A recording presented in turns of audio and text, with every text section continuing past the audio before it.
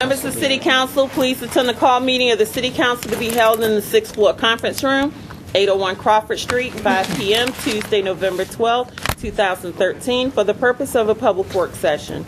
In addition, you may consider a motion to go into closed meeting by order of the mayor. Mr. Cherry? Here. Mr. Edmonds? Here. Mr. Meeks? Mr. Moody? Here. Ms. Simmons? Ms. Randall? Mayor Wright? Here. Mr. Rowe? Thank you. Good evening. Good evening. We have a uh, short agenda tonight. Since I say that, I'll knock on wood and regret it. Uh, But a great agenda. One of the great things we have on here is a status report on our uh, Portsmouth Colored Community Library um, and a recommendation, and to jump to the very end, that we make this part of our museum operation. I sent you a memo ahead of this, and Brandon's going to give us a briefing uh, with the punchline being that uh, if you give us the green light, we'll work hard to develop a budget and work this into the budget for 2014-15. Brandon? Thanks, John. Good evening, Mr. Mayor, Mr. Vice Mayor, and members of council. Um, As you know, the Portsmouth Colored Community Library is a a very important asset uh, to the history of Portsmouth, and um, the, uh, in particular, the African American Historical Society of Portsmouth, of whose members, many are are here tonight, um, have uh, played uh, an important role in restoring it and um, and making it uh, the museum that it is uh, over the last six years since it's been um, relocated to its its current location on Elm Avenue.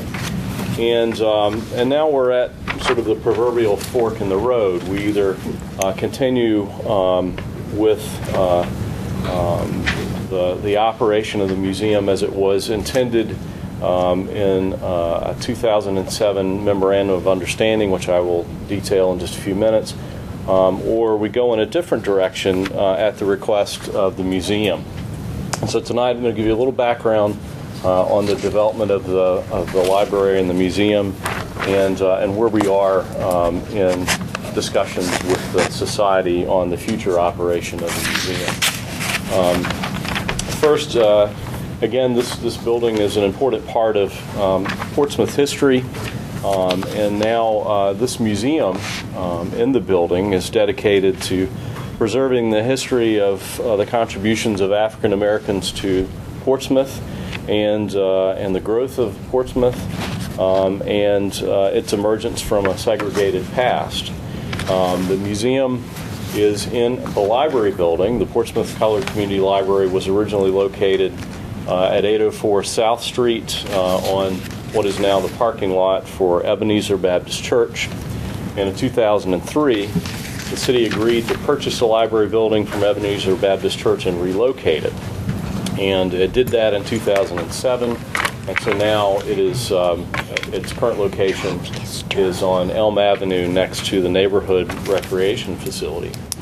And as you saw on the, the opening slide, um, uh, the, the importance of that building to the history of uh, Portsmouth and in fact uh, uh, the country is, is um, illustrated by its recognition as uh, um, on the National Registry of Historic Places, which it got that designation in 2009.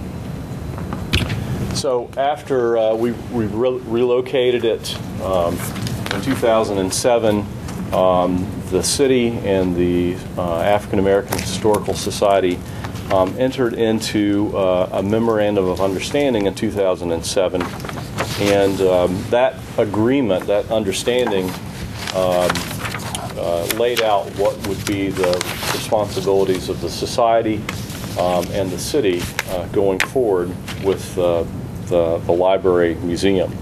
Uh, the city's responsibility was to uh, relocate the building and to provide basic uh, exterior work to bring it up to code compliance, um, and that would be at the city's expense.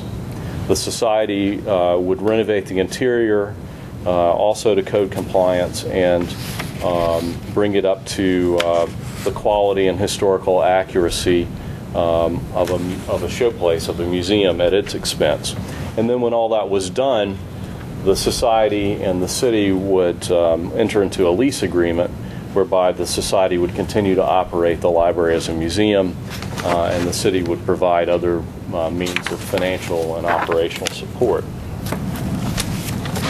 Um, If we continue as directed by the 2007 MOU, uh, we would now go into a lease agreement uh, with um, the society. And the terms of that lease agreement would be, uh, it would be a a five-year term that would be renewable. Um, The uh, the the society would would rent it from the city for a dollar per year. Uh, The society would operate the library and provide programming um, and it would be responsible for the operational costs, including staffing and interior maintenance and utilities. Um, and the city would maintain the building exterior. And in that 2007 MOU, it provided for, uh, if we if we got to this lease point, uh, that the city would contribute to the society $5,000 a year for operational support. And the city would also provide some other technical support for the operation of the museum. So just to sort of bring you up to the date and give you some, some views of the interior, um, this is um, uh, the um, one side of the inside of the building. Um, you can see the um, basically all the interior improvements have been made. Um, the society is still working on some exhibits and displays within the inside of it. Uh, here's another interior view. This is looking back out the front door. Um, and the city, uh, over the last six years, has uh, completed the exterior improvements that it committed to. Um, and this is a view from Elm Avenue, and this is a view from uh, neighborhood facility. So that brings us up to uh, this year, and uh, since the, the prerequisites um, uh, for the lease by both parties were completed sometime in last year, we began earlier this year to, to craft that lease agreement. And so in March, um, the um, Assistant City Attorney Nancy Cherry and I um, took the first shot at uh, drafting a lease agreement, and we sent it to the society. Um, they looked at it over the next several months, and in the meantime, the city also uh, made a few more improvements to the property, uh, including painting the building. Uh, we installed a concrete walkway along the side um, uh, between the museum and neighborhood facility, um, installed a fence, uh, and we have uh, some landscaping work under contract. Um, and um, and that brought us to October when uh, the society and the, and city staff uh, got together to start working on this lease. The society had um, taken the time to uh, review it and, and uh, made some suggestions for things that they wanted in the lease agreement. And um, as we met and, and talked about what some of those issues were, um, we um, uh, uh, we were dealing with the challenges of um, the city continuing to own and insure the building, but the society operating it as a museum. Um, and then the society also wanted uh, some additional operating support uh, in terms of funds from the city.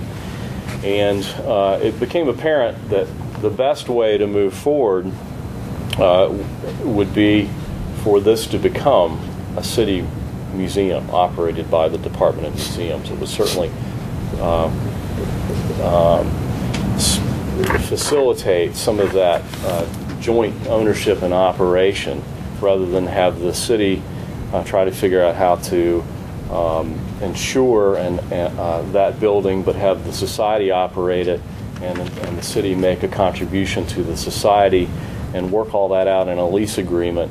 Um, the, the society said, what if the city just took this on as its own um, operation under the Department of Museums? And so that's where we are uh, tonight. Um, this is uh, because it's, it is a departure from the 2007 MOU. Um, we bring this back to you um, uh, with, uh, for your consideration and with a recommendation that we go in this direction. And, and so we would um, uh, if we go in this direction, uh, which is to, to um, make this library a city museum, um, will negate any need to pursue any further a lease agreement with the society. Um, the, the timetable that we're looking at to practically bring this into um, the city's operation would be uh, consistent with the fiscal year change, so it would be July 1 of this coming year. Uh, in the meantime, the Department of Museums, um, in consultation with the society, would uh, develop a budget and operational plan um, for the um, to, to be implemented in the upcoming uh, fiscal year, FY 14-15. And um, one of the other provisions that the society had asked for um, is that it would be, uh, it would continue to own the collection and and the artifacts um, and serve in an advisory capacity for the Department of Museums. And then because the society would still own those artifacts, but the city would be operating the museum, uh, we would need to enter into a uh, collections agreement uh, with the society.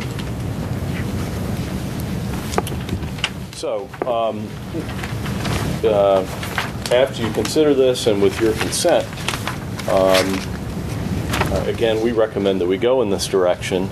And uh, if you so agree, then we will begin to work on um, uh, the, the operations plan and um, the budget um, and include that in the manager's recommended budget to you for FY15. And um, if, if that is uh, adopted, then our plan would be to begin operating the, the, um, the Portsmouth Colored Community Library as a city museum on July 1 of 2014. You have any questions? No, um, I think it's an excellent idea. Um, Pleased to see that we've come up with this type of agreement because I think it, it fits both of us and, in and talking with the committee, the society, and, and some of the things and concerns that it had. I think we've, we've actually put this thing on the front page and we're looking forward to that uh, grand opening December the 21st. Yeah. And, uh, uh, and I like what you propose. Are there any other questions or comments? I think I think it's a great uh, great conclusion to uh, a long journey. Actually, uh, the society has uh, been the catalyst to get to this point, and I think that to be congratulated uh, on the hard work and, and uh, uh, along the way. It has been a long journey.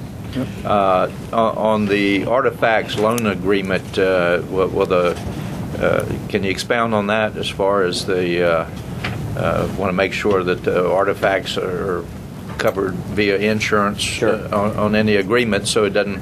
And we do that now because a lot of stuff that we show at our museums are on loan, and we're all the time getting into a loan agreement and having the necessary insurance on artifacts. And I'm sure over time we'll end up owning some stuff ourselves. Right. So this is not unusual for a museum at all.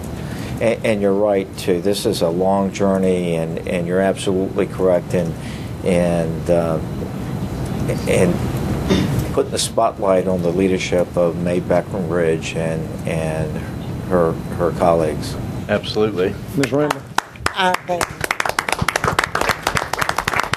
I would just like to say it's been a long time coming. And God has blessed us to live long enough to see it happen. It has been something that has been a dream for a long time for those who really had a big hand in bringing this about. And I'm hoping that we give it the dignity and the distinction that is needed because it is Portsmouth's history, Yes, and particularly the African Americans, and it goes back a long time. I'm so glad that I've lived long enough to see it happen during the time that I'm still around to see it, and I just commend the members of the board for all of your due diligence in ensuring that this day would come about and we would see it recognized by the city of Portsmouth for the history for which it represents. I take it then Thank we you. have a green light. Absolutely. Thank you very Thank much. Thank you very much. Good job. Uh, The last item we have for your uh, work session agenda is the ordinance that will be on your regular session agenda about the emergency funding for the emergency winter shelter. I sent you a memorandum on this, and I think it was self-explanatory. I just wanted to remind you that this will come up on the agenda. Again, the appropriations with strings, uh, as you can see from the second um, part of the ordinance. And that's it. We have a need for a closed session, ladies and I move to go in a closed meeting pursuant to to provisions of Virginia Code Section 2.2-3711 for the following purposes. Consultation with legal counsel and briefing by staff pertaining to a matter of actual litigation, uh, Meeks versus City of Portsmouth, as permitted under subsection A7. Consultation with legal counsel and briefings by staff regarding legal matters involving uh, restrictive covenants, uh, uh, applicable to the Ocean Marine Site, an appeal from a decision of the Historic Preservation Commission, and city property and MLK Connector Project, all as permitted under subsection A7. Uh, Discussion concerning the performance of the city council members as permitted under subsection A1. Second. All right. Mr. Cherry? Yes. Mr. Edmonds? Yes. Mr. Meeks is absent. Mr. Moody? Yes. Absent. Ms. Randall? Yes. Mayor Wright? Yes. We are in closed session. Thank you.